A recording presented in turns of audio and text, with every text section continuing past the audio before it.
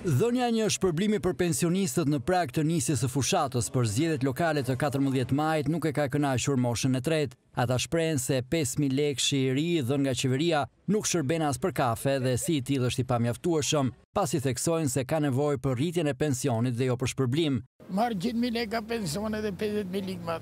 Hiç fare s'i duhet. Qeveria duhet të kishte rritur pensionin apo duhet të jepte shpërblim? Pensioni të rritet. Pension e mora. Shpërblimi? E mora. Ja shi të paguaj drita, ujë, ta flej mendjen edhe të shkoj. Nuk është i mjaftueshëm. Pse? E po me 5.000 lekë ç'do marrësh. Unë jam 125, unë tëra janë ilaçe, të të vedit i marrë të shi. Një pensionist thotë se ky pesë mijë lekësh ju dha për votime, por shprehet se nuk do e shesë votën e tij. Po ishte mirë nesër ikim në Greqi me gjithë familje, shpërngulem. Kështu që Çfarë rëndësie ka? Të lutem, ai 50 mijë lekë që ishte, ndihmon? Me jo do pimi kafe tani për para votimit atij të votojmë për një kafe. Na e dha për për të votuar. Po s'ja jap më votën, mos kemi.